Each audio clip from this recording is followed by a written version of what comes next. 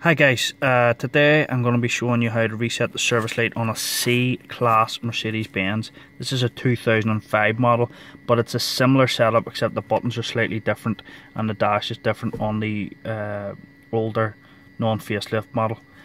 Um, these buttons here, you can adjust the dash and what you want to do is you want to get it round until it's at the mileage. Then press the up and down arrow okay and you'll see that the service B is due a thousand mile.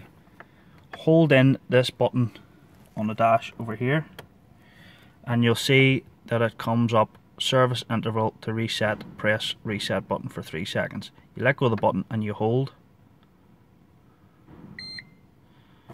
And it will say that the service has been reset.